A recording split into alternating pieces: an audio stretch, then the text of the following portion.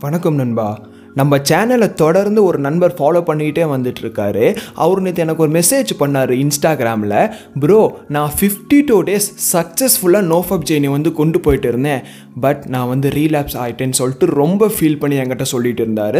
நானும் சில ஆறுதல் சொல்லிட்டு அவருக்கு வந்து கொஞ்சம் சில டிப்ஸ்லாம் கொடுத்து இனிமேல் நீங்கள் வந்து ரீலாப்ஸே ஆகக்கூடாதுன்னு சொல்லிட்டுலாம் கொஞ்சம் மோட்டிவேட் பண்ணி மெசேஜ் பண்ணேன். ஸோ இன்றைக்கான வீடியோவில் அவர் வந்து எப்படி ரீலாப்ஸ் ஆனார் எதனால் ஆனார்னு சொல்லிட்டு எனக்கு கொஞ்சம் ஷேர் பண்ணிக்கிட்டாரு. நான் வந்து அதை தான் வந்து உங்கள்கிட்ட ஷேர் பண்ணிக்க போகிறேன் ஸோ இந்த வீடியோவை கொஞ்சம் கூட ஸ்கிப் பண்ணாமல் கடைசி வரைக்கும் தொடர்ந்து பாருங்கள் கண்டிப்பாக உங்களுக்கு யூஸ்ஃபுல்லாக இருக்கும். அதுக்கு முன்னாடி இந்த சேனலில் நான் நிறைய self improvement videos self development வீடியோஸ்னு சொல்லிட்டு நான் நிறைய வீடியோஸ் போஸ்ட் பண்ணிகிட்டு இருக்கேன். நீங்கள் அந்த வீடியோஸில் மிஸ் பண்ணாமல் பார்க்கணும் அப்படின்னா கீழே சப்ஸ்கிரைப் பட்டன் இருக்குது அதை கிளிக் பண்ணி சப்ஸ்கிரைப் பண்ணிக்கோங்க. பக்கத்துலேயே பெல் சிம்பிள் வரும். அதை கிளிக் பண்ணி ஆளுங்கிறது செட் பண்ணி வச்சிட்டிங்கன்னா நான் டெய்லியுமே போஸ்ட் பண்ணுற வீடியோஸை நீங்கள் டெய்லியுமே மிஸ் பண்ணாமல் பார்க்கலாம். அவர் கூட எப்பொழுதுமே வந்து நண்பர்கள் இல்லை வந்து ஃபேமிலிஸ் ரிலேட்டிவ்ஸ் சொல்லிட்டு இருந்துகிட்டே இருப்பாங்களாம் அவர் வந்து எப்பவுமே பிஸியாகவே இருப்பாராம். ஸோ அவர் வாழ்க்கை வந்து அப்படி தான் போயிட்டு இருந்துச்சு அப்படி போயிட்டு இருக்கும்போது அவர் வாழ்க்கையில் வந்து நோ ஜெர்னி ஸ்டார்ட் பண்ணியிருக்காரு.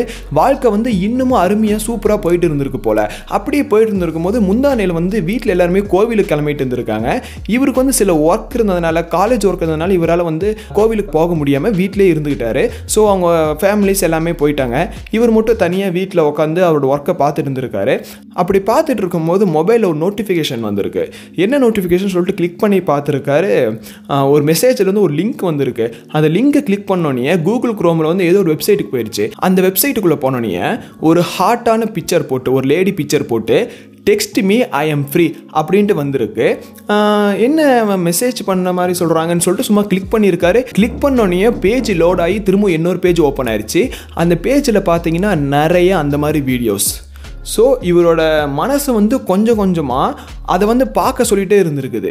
இவ்வளோ நாள் வந்து ஐம்பத்தி ரெண்டு நாள் சூப்பராக இருந்திருக்காரு. கொஞ்சம் பிஸியாகவே இருந்திருக்காரு. அந்த திங்கிங்கில் எல்லாமே அந்த தாட்ஸில் வந்து எதுலேயுமே மாட்டாமல் அவர் பாட்டுக்கு நல்லா கட்டுக்கோப்பாக இருந்திருக்காரு. பட் அந்த தனிமையாக இருக்கிற டைமில் இவரோட மனசு வந்து என்ன சொல்லிச்சுனே தெரில இவரோட மைண்டு வந்து இவரோட கண்ட்ரோலே இல்லை. அதை பார்த்தோன்னே ஐம்பத்தி ரெண்டு நாளே டோட்டலாக மறந்துட்டு முன்னாடி எப்படி இருந்தாரோ அதே மாதிரி திரும்ப இருக்கலாம்னு சொல்லிட்டு அந்த வீடியோஸ்லாம் ஒவ்வொன்றா பார்க்க ஆரம்பிச்சிட்டாராம். அப்படியே பார்த்துட்டு இருக்க பார்த்துட்டு இருக்க ரொம்ப சந்தோஷம். அவரோட பிரெயினில் வந்து கிடைக்க கிடைக்க அட்லாஸ்ட் அவர் வந்து ரீலாப்ஸ் ஆகிட்டாரு மாஸ்டர்பேஷன் பண்ணிட்டாரு. அதுக்கப்புறம் வந்து ரொம்ப ரொம்ப ஃபீல் பண்ணாராம். அழுகிற ஸ்டேஜுக்கெல்லாம் போயிட்டாராம். அதுக்கப்புறம் தான் உடனே எனக்கு வந்து மெசேஜ் பண்ணியிருக்காரு. இப்போ என்ன ப்ராப்ளம் அப்படின்னு பார்த்தீங்கன்னா நம்ம வந்து தனிமையாக இருக்கும் பொழுதுங்க அந்த எண்ணங்கள்லாம் கண்டிப்பாக நம்மளை போட்டு ஒரு வழி பண்ணும். ஏன்னா நம்ம கூட வந்து ஆட்கள் இருக்கும்போது நம்ம சொந்தக்காரங்க நம்ம ஃப்ரெண்ட்ஸ் நம்ம ஃபேமிலிஸில் இருக்கும் பொழுது நம்மளோட எண்ணங்கள் வந்து டிரான்ஸ்ஃபார்ம் ஆகிட்டே இருக்கும். ட்ராவல் ஆகிட்டு இருக்கும். அவங்க ஏதாச்சும் கேட்பாங்க அதுக்கு நாம் பதில் சொல்லுவோம். நாம் வந்து அதை எடுத்துவே எப்படிமோ அவங்க வந்து அதை எடுத்து வச்சுட்டு எதை சொல்லுவாங்க நம்ம சம்திங் அந்த மாதிரி நான் நமக்கு வந்து ஒரு உரையாடல் இருந்துக்கிட்டே இருக்கும். நம்மளோட எண்ணங்கள் வந்து பரிமாறிட்டு இருக்கும். பட் இப்போது தனிமையாக இருக்கிற டைமில் அந்த எண்ணங்கள் நமக்குள்ளேயே ஒரு லூப் மாதிரி நமக்குள்ளேயே சுற்றிட்டு சுற்றிக்கிட்டு இருக்கிறதுனால நிறைய தேவையில்லாத எண்ணங்கள் வந்து ப்ரொடியூஸ் பண்ணும். தனிமையாக இருக்கும் பொழுது. ஸோ அவருக்கு அந்த டைமில் ப்ரொடியூஸ் ஆகலை. ஆனால் ஒரு சூழ்நிலை நோட்டிஃபிகேஷன் வந்துருச்சு அந்த மாதிரி. அதுக்கு வந்து யாருமே காரணம் இல்லைங்க. ஏன்னா நோட்டிஃபிகேஷன் வந்து அந்த மாதிரி வெப்சைட்டுக்குள்ளே கொண்டு போகிறது வந்து ஒரு வியாபாரம். அதில் நம்ம தெளிவாக இருக்கணும். நாம் அதில் வந்து மயங்கிட்டோம்னா உள்ளே இழுத்துட்டு போயிடும் பட் அவர் மயங்கிட்டார் ஸோ கொஞ்சம் இல்லை உள்ளே இழுத்துட்டு போயிடுச்சு அவரை போட்டு ஒரு வழி பண்ணிருச்சு. பட் இருந்தாலும் அவர் வந்து அதை புரிஞ்சுக்கிட்டார். இனிமேல் நான் பண்ண மாட்டேன். எந்த ஒரு நோட்டிஃபிகேஷன் அன்னோ நோட்டிஃபிகேஷன் சொல்லுவாங்க. எந்த ஒரு அன்னோ நோட்டிஃபிகேஷன் வந்தாலுமே நான் அதை கிளிக் பண்ணி உள்ளே போக மாட்டேன். மெசேஜ் வந்தாலுமே நான் பார்க்க மாட்டேன்னு சொல்லிட்டு இப்போ கொஞ்சம் தெளிவாக இருக்கார். நீங்கள் என்ன பண்ணுறீங்க அப்படின்னா இந்த மாதிரி வந்து விஷயங்கள் உங்களுக்கும் நிறைய நடக்கலாம். இப்போ நடந்துகிட்ருக்கலாம் நீங்களும் வந்து உங்களே அறியாமல் தெரியாமல் சில விஷயங்கள் பண்ணிகிட்ருக்கலாம் இருக்கலாம். நீங்கள் இதிலிருந்து கொஞ்சம் புரிஞ்சுக்கோங்க. நம்மளை வந்து போட்டு ஒரு வழி பண்ணுறதுக்கு நம்மளை வந்து ரீலாப்ஸ் ஆக்கிறதுக்கு நிறைய விஷயங்கள் வந்து இந்த உலகத்தில் இருந்துட்டு தான் இருக்குது. பட் நம்ம அதெல்லாம் மாட்டாமல் நாம் வந்து சேஃப்டியாக இருந்துக்கணும். நாம் வந்து கொஞ்சம் விழிப்புணர்வாக இருந்துக்கணும்.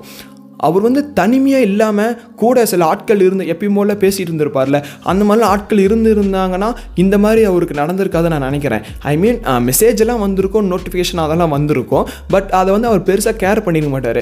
இப்போ தனியாக இருக்கிறதுனால என்ன அதுன்னு சொல்லிட்டு கிளிக் பண்ணும் பொழுது அந்த ஹார்ட்டான பிக்சர்ஸ்லாம் பார்க்கும்பொழுது திரும்பவும் நம்மளோட பிரெயின் வந்து பல ஆண்டு வருஷமாக நம்ம வந்து அப்படி தானே பண்ணிட்டு இருந்தோம். இந்த மாதிரி வீடியோஸ் பார்த்துட்டு இந்த மாதிரி ஃபோட்டோஸ் பார்த்துக்கிட்டு நம்ம நாமளே கெடுத்துட்டு இருந்திருக்கோம்ல. ஸோ அதை வந்து திரும்பவும் அதை வந்து பண்ண வச்சிருச்சு. ஏன்னா அதை வந்து அப்படி தான் பழக்கப்பட்டிருக்கு. ஸோ நம்ம அதில் என்ன புரிஞ்சுக்கணும் அப்படின்னு பார்த்தீங்கன்னா நான் வந்து மெயினாக உங்கள்கிட்ட என்ன சொல்ல வரேன் அப்படின்னா இந்த மாதிரி ஒரு சூழ்நிலை வரும்பொழுது நீங்கள் வந்து ஒரு தன்னம்பிக்கையாக இருக்கணும். அதில் வந்து மயங்கிடக்கூடாது. அதோட வேலை வந்து நம்மளை வந்து அட்ஜஸ்ட் ஏற்படுத்துகிற வேலை தான் நம்ம புரிஞ்சுக்கிட்டு அதை நம்ம வந்து ஒதுக்கி வச்சிடணும். அதை நான் எதை மீன் பண்ணுறேன்னா இந்த ஃபோன்ஸ் இந்த டிவிஸ் இந்த மாதிரி நிறைய இருக்குது. ஸோ நாம் வந்து ஒரு தெளிவாக இருக்கணுங்க. நம்ம வந்து நோ ஃபப்ஜெல் இருக்கிறோன்னா எந்த ஒரு டிஸ்ட்ராக்ஷனுமே ஆகாமல் நம்ம அதில் வந்து ஃபோக்கஸ்டாக இருக்கணும். நிறைய பேர் வந்து பான் வீடியோஸ் பார்த்துக்கிட்டு அந்த மாதிரி ஃபோட்டோ ஃபோட்டோஸ்லாம் பார்த்துக்கிட்டு நோஃபபிளாக இருக்காங்க. பட் ஒரு நாள் நீங்கள் வந்து கண்டிப்பாக ரீலாப்ஸ் ஆக சான்ஸ் நிறையாவே இருக்குது ஸோ நோஃபபிள் இருந்தால் கரெக்டாக அதுக்கு இருங்க. ரீலாப்ஸ் ஆகிற சூழ்நிலை வரவே வராது. அப்படி வந்தாலும் ஏன் வருது? எதனால் வருது? எந்த ஒரு சூழ்நிலை? இப்போ நம்ம தனிமையாக இருக்கோமா? அப்போ தனிமையாக இருக்கனால ரீலாப்ஸ் வருதா? அப்போ நம்ம தனிமையிலேருந்து எப்படி நம்ம அதுலேருந்து வெளியே வந்து அந்த மைண்ட் செட்டை மாற்றிட்டு அந்த சுச்சுவேஷனை மாற்றிட்டு எப்படி நம்ம கரெக்டாக இருக்கலாம்னு சொல்லிட்டு நீங்கள் தான் உங்களுக்கு வந்து அந்த ஒரு ஆறுதல் சொல்லிக்கிட்டு ஒரு தன்னம்பிக்கை நீங்களே உங்களுக்குள்ளே வந்து வளர்த்துக்கிட்டு நீங்கள் தான் அதுலேருந்து மூவ் ஆன் ஆகி வேற ஒரு வேலையை பார்க்க போகணுங்க.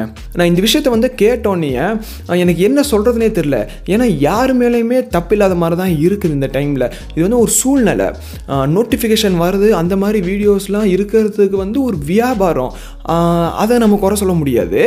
அது மட்டும் இல்லாமல் ஒரு மெயினாக அந்த தனிமை தான் தனிமையாக இருக்கும்போது நம்மளை வந்து ஒரு போட்டு ஒரு வழி பண்ணும் அந்த எண்ணங்கள்லாம் சேர்ந்துக்கிட்டு கொஞ்சம் மயங்கினாலுமே நம்மளை ரொம்ப கீழே இழுத்துட்டு போயிடும் நம்ம திரும்ப மேலே வரவே முடியாது ரொம்ப கஷ்டம். ஸோ இந்த வீடியோ உங்களுக்கு யூஸ்ஃபுல்லாக இருந்திருக்கும்னு நினைக்கிறேன். இன்றைக்கான வீடியோ அவ்வளோதாங்க அப்படி யூஸ்ஃபுல்லாக இருந்து பிடிச்சிருந்தா கீழே கமெண்ட் பாக்ஸில் கமெண்ட் பண்ணுங்கள் மறக்காமல் நீங்கள் நோ ஃபப் சேலஞ்சில் எவ்வளோ டேஸில் இருக்கீங்கன்னு சொல்லிட்டு கீழே கமெண்ட் பாக்ஸில் கமெண்ட் பண்ணுங்கள் அதை பார்த்து நான் தெரிஞ்சுக்கிறேன்.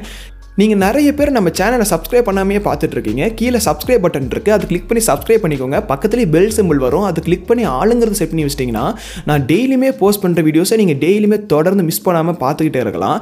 உங்களுக்கு ஏதாச்சும் கேள்விகள் சந்தேகங்கள் இருந்தாலும் கீழே கமெண்ட் பாக்ஸில் கமெண்ட் பண்ணுங்கள் நான் ரிப்ளை பண்ணுறேன் இல்லைனா அதுக்காக ஒரு வீடியோ மேக் பண்ணி கூட நான் அப்லோட் பண்ணுறேன் அடுத்து ஒரு யூஸ்ஃபுல்லான வீடியோவோட உங்களை வந்து நான் பார்க்குறேன். உன் வாழ்க்கை உன் கையில். நன்றி நண்பா.